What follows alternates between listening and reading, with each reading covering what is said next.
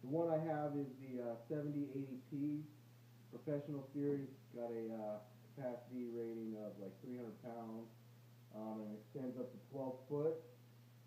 Um, I haven't really seen any videos online of people actually climbing these ladders, which was really irritating to me when I was looking for reviews on this ladder.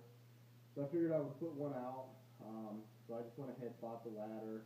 Um, I bought it so I could get into scuttle holes that are inside people's closets um, and carrying a ladder upstairs. I'm, I'm a shorter guy, so carrying an eight foot ladder up uh, somebody's stairs inside their house so I can get to the second level of their house so I can get to the scuttle hole is just a real pain in the ass. Um, so I was kind of done with that, so I wanted to uh, try something out like this. Uh, somebody at work told me that, well, a guy that used to work with us told me about this uh, telescoping ladder that he used to have, and that it was worked really well. So uh, this is the one that I uh, decided to go with, the Xtend and Climb. There's a lot of different uh, telescoping ladders out there, but this one um, actually had a warranty. It's been around for a while, um, and it was one of the few ladders that had a 300 pound uh, weight capacity.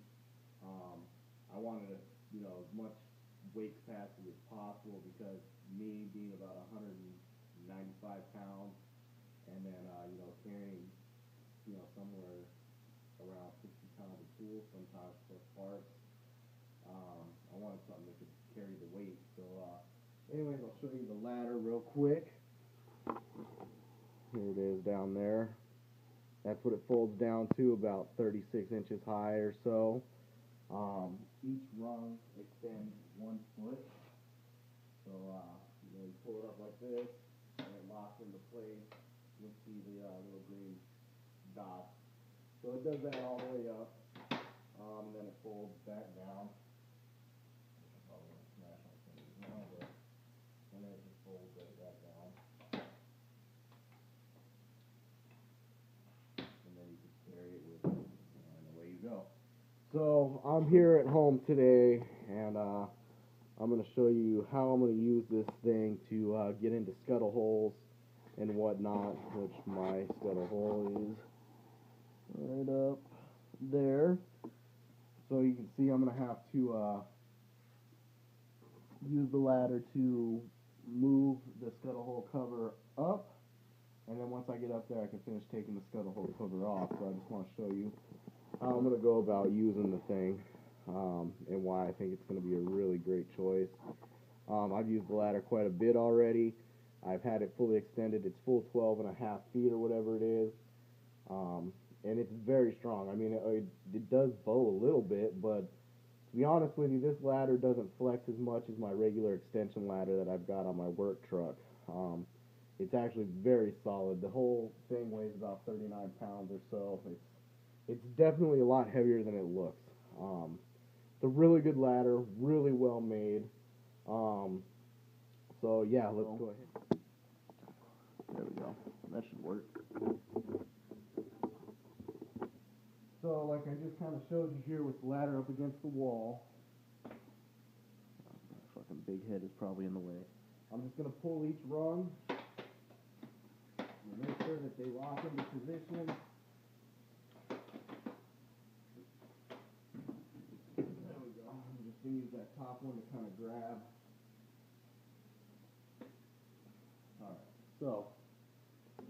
You can see there I pushed the scuttle hole in just a little bit with that top rung. And then down here at the bottom, it's got the, uh, I mean, I don't really like this gap here. I'm sure there's something I can do about that. You know, there's, looks like four rungs that aren't opened up. But, uh, I mean, it's not a big deal to me, but it is kind of a safety thing that people will look at. Um, so that's just that is what it is. So you'll be able to. All right, so now I'm gonna go ahead and uh, climb this thing and get up there and show you how uh, be moving the scuttle hole cover out of the way.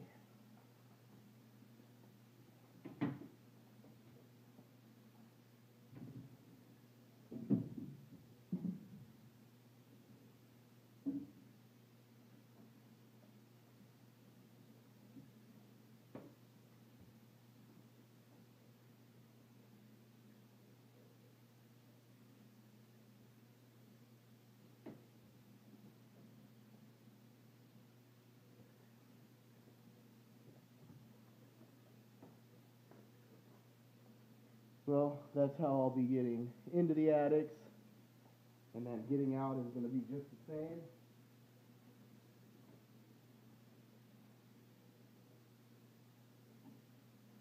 I'll the cover.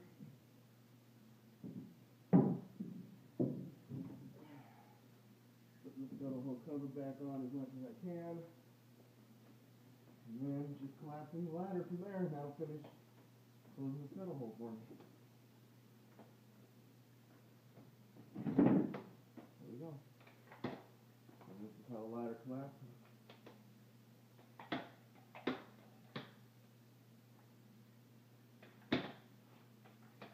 And that's it.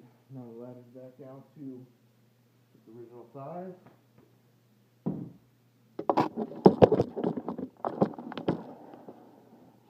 There you go. That simple. I'll take you outside and I'll fully extend it and climb on it and uh, show you guys that. Okay.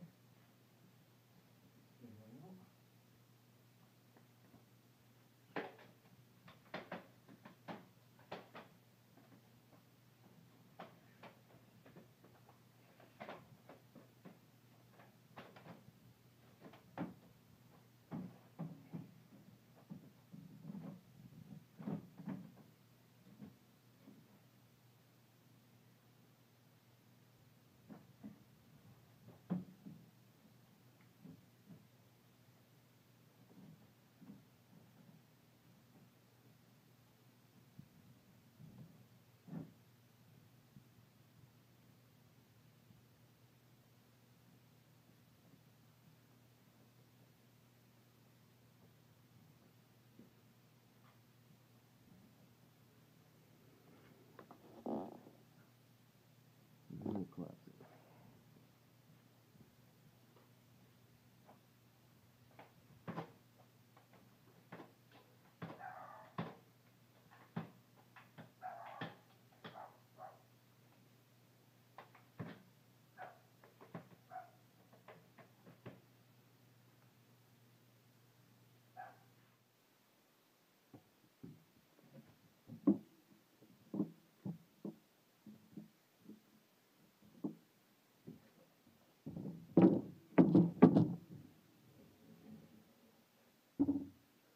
Yeah. Using the Xtend and Climb ladder to do this uh, is definitely a lot less cumbersome than using an A-frame ladder, a six foot or an eight foot. And also for those ones where you don't quite need an eight foot ladder, and you use a six foot ladder. But really, you could use something like seven foot ladders. Um, you know, you got to pull yourself into an attic. This is real nice because all you have to do now is literally you're just walking into the attic now. Much safer. Same thing when you're leaving the attic, you don't have to, uh, you know, do a dip to the ladder. Now you just step to the rung. You don't have to worry about taking the scuttle hole trim out and start going down the ladder. Much safer. This ladder is really awesome. Um, at this point, I definitely do recommend this Xtend and Climb ladder. It's amazing. It's really, really strong. I mean, I'm bouncing on it right now. It's not slipping. Not a lot of flex in it. A really good ladder. Um, I would definitely recommend it. So uh, with that, guys, we'll uh,